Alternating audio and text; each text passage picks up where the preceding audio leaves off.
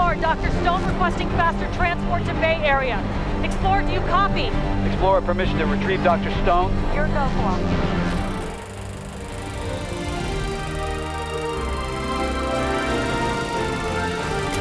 Hi from the Gravity Junket in Los Angeles. Today is so exciting. I was just talking to Sandra Bullock about the new movie Gravity, and now I'm standing next to two real life astronauts, Katie and Michael. Thank you so much for being here today. Pleasure. It's such a cool opportunity to get to talk to you. It's our pleasure. So, you just saw the movie, right? How did you like it? It was awesome to go to space again without actually leaving the planet. I mean, I, I really, to me, Mike, it just looked like what we see up there. And it also, I think, makes everybody down here realize that we, people live in space right now. I mean, in the movie and also in real life. We have a space station. We're doing research up there. I trained in Köln and also Oberpfaffenhofen for my European training for the space station. And it's a, it's a 16 country international team doing amazing work up there. Wow. So, was there a scene that didn't feel real? Was there a scene where you thought, no, that's not how it goes? Um, well, it, I, I think you know it's a movie, right? Mm-hmm. So I think you know when we do our work, we're generally very, very conservative because it is very risky, which they showed in the movie. So that you you know you move very slowly and you're very conservative about how you move around.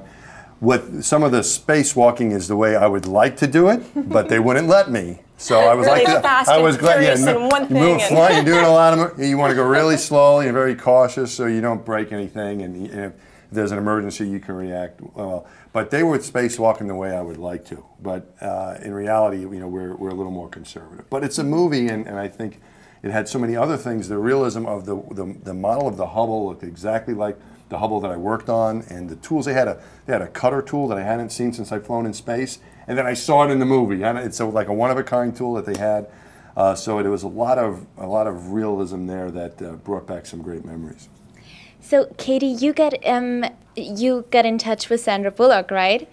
And through a very funny story, you got in touch through your families. It's true. My fam- my brother met her sister, who said Sandy's making a movie about being an astronaut. Would your sister talk to her? And my brother said, I think so. and it was really a neat event. I I was up there for six months, and so this is about three months into it.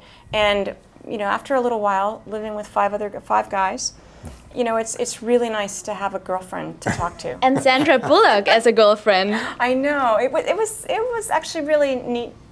It's a special place that we get to be, and to be able to share with her, knowing that she's making this movie that is going to enable us to share the important work we're doing and, and how amazing it is to see the Earth from from that vantage point.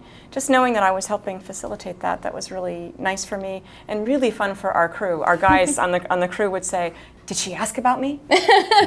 And you were having a beer with George Clooney, were you? No, I didn't, but I will if he oh. wants to. but I think he did base his character on my personality because he's really cool in the movie. I love the sentence where he says, Well, I think you haven't realized how good looking I am.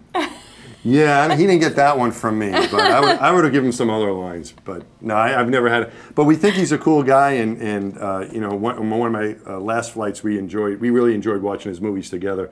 Some of the movies he did, where it was you know, in the oceans, oceans movies that he did, we we really we liked watching them as a crew because it was like a group of a group of people together doing a doing a caper, you know, going doing something risky and fun, and that's what we felt our space mission was like. So we've we've uh, enjoyed his work. Gravity is coming to the cinemas in the beginning of October. Be sure to check it out. Thank you so much, guys. Thank, you. Pleasure.